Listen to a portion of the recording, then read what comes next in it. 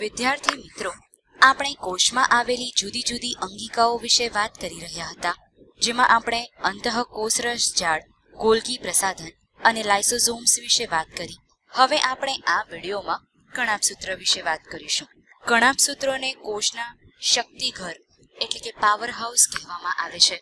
કણાપસૂત્ર બે આવરણ ધરાવે છે, બાહ્ય આવરણ અને અંતઃ આવરણ. એક આવરણ બહારની તરફ આવેલું છે અને એક આવરણ અંદરની બાજુએ છે. બાહ્ય આવરણ ઘણું ખરું છિદ્રિષ્ટ હોય છે, અને અંતઃ આવરણ ઊંડા અંતઃ પ્રવર્ધો ધરાવે છે.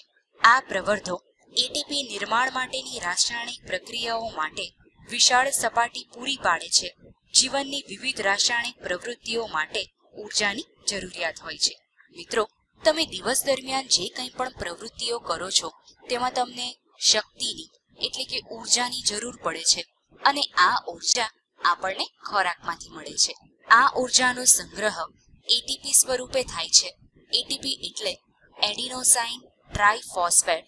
એટીપીના સ્વરૂપમાં સંગ્રહ પામતી ઊર્જા કણાભસૂત્ર દ્વારા મુક્ત થાય છે. એટીપીને કોષના ઊર્જા ચલણ કે શક્તિ ચલણ તરીકે પણ ઓળખવામાં આવે છે. યાંત્રિક કાર્ય માટે અને નવા રાસાયણિક સંયોજનો બનાવવા માટે શરીરમાં એટીપીના સ્વરૂપમાં ઉર્જાનો સંગ્રહ થાય છે.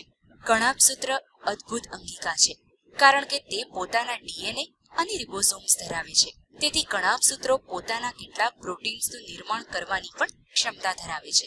મિત્રો, તમે અહીં કણાભસૂત્રના ચિત્રને જોઈ શકશો. આપણે જોયું તે પ્રમાણે તેના બે આવરણ છે. અહીં આ બહારનું આવરણ છે અને તેની અંદર અંતઃ આવરણ છે. આપણે હમણાં જ વાત કરી તે પ્રમાણે કણાભસૂત્રની અંદર પોતાના ડીએનએ અને રિબોઝોમ્સ આવેલા હોય છે. કણાભસૂત્ર વડે એટીપી સ્વરૂપે સંગ્રહ પામતી ઊર્જા મુક્ત થાય છે અને તેથી જ કણાભસૂત્રને કોષનું પાવર હાઉસ એટલે કે શક્તિઘર કહેવામાં આવે છે. આમ કણાભસૂત્ર એ કોષમાં આવેલી ખૂબ જ અગત્યની અંગિકા છે.